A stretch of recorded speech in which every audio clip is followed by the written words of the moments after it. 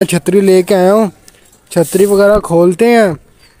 अब छतरी के ज़रिए इधर उधर घूमते हैं क्योंकि बारिश बहुत ज़्यादा है तो यार इधर देख सकते हैं ये जो सी मैं सर के ऊपर की हुई थी इसके अंदर से बिच्छू निकल आया ये देख सकते हैं। गाइस आप लोगों को लग रहा होगा कि ये अम्ब्रेला का बिच्छू है लेकिन ये इसके सर से निकला था।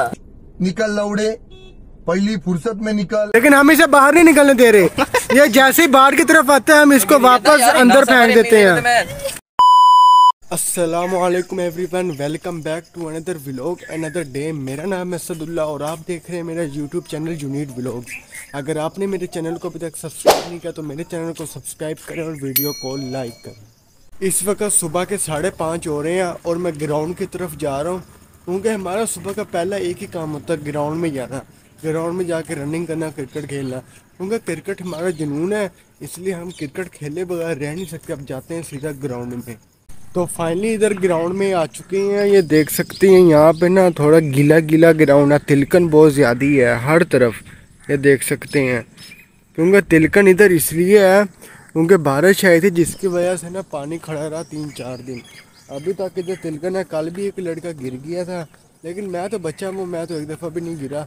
जब ज़्यादा तेज़ भागना फिर गिरना ही, क्योंकि तिलकन है इधर। बहुत ज़्यादा तिलकन है देख सकते हैं। आपको वीडियो में नहीं लग रहा होगा लेकिन वैसे हकीकत में बहुत ज़्यादा इधर तिलकन है। गिरने का बहुत ज़्यादा ख़तरा है इधर। तो यार फाइनली हमारी गेम स्टार्ट हो चुकी है। तकरीबन पौना घंटा वेट करना पड़ा फिर जाके प्लेयर्स वगैरह आए हैं। देख सकते हैं इधर मैं फील्डिंग पर खड़ा हूँ इधर बैटिंग वगैरह भी स्टार्ट हो चुकी है। One hour later. तो यार क्रिकेट वगैरह खेलकर फ्री हो चुके हैं सब वापस जा रहे हैं देख सकते हैं और मैं भी वापस जा रहा हूँ जाते हैं घर जाकर फ्रेश वगैरह होते हैं और नाश्ता करते हैं Three hours later. तो यार मैं नहा धोकर रेडी हो चुका हूँ कंगी वगैरह भी कर ली और कपड़े भी इधर आज इस्त्री करके पहनने हैं पहले तो मैं ऐसे ही पहन लेता था और इस वक्त टाइम हो रहा है नौ बजकर अठहत्तर मिनट यानी पौने दस हो रहे हैं और मैंने जाना है एक दावत पर अब मैं मोटरसाइकिल बाहर निकालता हूँ और जाता हूँ सीधा दावत पर क्योंकि नाश्ता किया नहीं क्योंकि दावत पर जाना था इसलिए नाश्ता भी मैंने छोड़ दिया। मैंने कहा दावत पर जाके कुछ एक्स्ट्रा खा लेंगे। अब चलते हैं सीधा दावत पर ये ना हो कि हम लेट हो जाए और वहाँ पर चीज़ें खाने वाली ख़त्म हो जाए। अरे कहना क्या चाहते हो? तो यार इधर ना मेरे मोटरसाइकिल के मीटर की जो से सुई है ना उसको देखें वो खुद ब खुद वाइब्रेट हो रही है ये देखें ये देखें। हालाँकि रेस इस वक्त दस की भी नहीं है, वो कभी साठ पे जा रही है, कभी कितने पे? यार, एक और मेरी मोटरसाइकिल का नुकसान ये हो गया कि इसकी मीटर की सुई खराब हो गई है, वो वाइब्रेट हो रही है, पता नहीं इसको क्या हो गया है। वो बीस से डायरेक्ट साठ पर चली जाती है।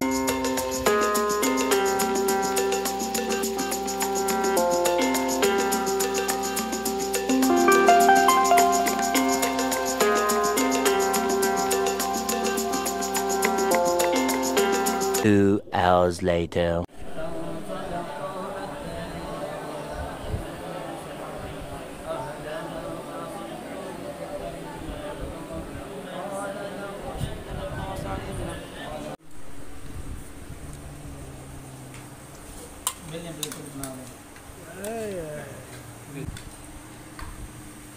A few moments later. तो यार इस वक्त मौसम बहुत ही अच्छा है, ये देख सकते हैं, बारिश वगैरह हो रही है, इधर पानी वगैरह गिर रहा नीचे, ये देख सकते हैं। मौसम बहुत ही अच्छा है, अब मौसम इंजॉय करते हैं। और आज हमारा टूर्नामेंट भी था, वो भी नहीं होगा हमारा टूर्नामेंट क्योंकि बारिश आ गई, इसके अंदर ग्राउंड में पानी आ गया। अभी फ़िलहाल बारिश ही आ रही है, जब ये रुकेगी, उसके बाद देखेंगे ग्राउंड की सूरत हाल। तो यार अभी अभी कुछ बारिश कम हुई है, बाकी मौसम तो बहुत ज़्यादा प्यारा है। ये देख सकते हैं मौसम काफ़ी ज़्यादा प्यारा है। और मैं इधर आम वगैरह लेके जा रहा हूँ ये डोलू में। क्योंकि जब बारिश आ जाए तब पकोड़े खाने चाहिए या तो फिर गर्मियों में आम खा लो। अब मैं इंशाल्लाह इन्हीं आमों को खाते हैं साथ दोस्तों को भी बुलाते हैं उनको भी आम खिलाते हैं साथ। Six hours later. तो यार तकरीबन काफ़ी घंटे हो गए अभी तक बारिश नहीं रुकी है देख सकते हैं। मैं छतरी लेके आया हूँ छतरी वगैरह खोलते हैं। अब छतरी के ज़रिए इधर उधर घूमते हैं क्योंकि बारिश बहुत ज़्यादा है। सुबह के दस बजे से बारिश स्टार्ट हुई थी इसका शाम के छः बजे तकरीबन आठ घंटे हो गए अभी तक बारिश हो रही है। अब जाता है सीधा ग्राउंड की तरफ़। यार, छतरी काफ़ी बड़ी है, देख सकते हैं ये छतरी काफ़ी बड़ी है। अब छतरी को, सार के ऊपर रखा हुआ है। बारिश से बचत हो रही है। अब जाते हैं सीधा ग्राउंड में और जाके देखते हैं क्या सूरत है यार, मैं इधर ग्राउंड में आ चुका हूँ। ये देख सकते हैं ग्राउंड में जगह जगह पर पानी खड़ा है। इसकी वजह से तकरीबन एक या दो दिन इधर खेल ही नहीं होना पानी खड़ा जगह जगह पर उसको सूखने के लिए भी वक्त लगता है। तो यार इधर देख सकते हैं ये जो सी अम्ब्रेला सर के ऊपर की हुई थी इसके अंदर से बिच्छू निकल आया ये देख सकते हैं। ये आप को लग रहा होगा कि ये अम्ब्रेला का बिच्छू है लेकिन ये इसके सर से निकला था। निकल लौड़े। पहली फुर्सत में निकल यार इस बिच्छू ने ना हमारे एक दोस्त को काटे देख सकते हैं इसका मुँह कैसा हो गया। यार ये इसका मुँह देख के बहुत गया इसके बिच्छू काट लिया यार मैंने तकरीबन 10 से 15 मिनट छतरी अपने सर के ऊपर की थी मुझे नहीं पता इसके अंदर बिच्छू है वो अचानक बिच्छू निकल आया। अगर ये मेरे लड़ जाता ना फिर बहुत मसला हो जाना था। ये मैं आपको दिखाता हूँ ये देख सकते यार हैं। मेरे को मार खा लेनी बहुत ज़्यादा। ये देख सकते हैं बिच्छू जा रहा है देख सकते हैं। ये देख सकते हैं बिच्छू इसी के अंदर है अभी तक।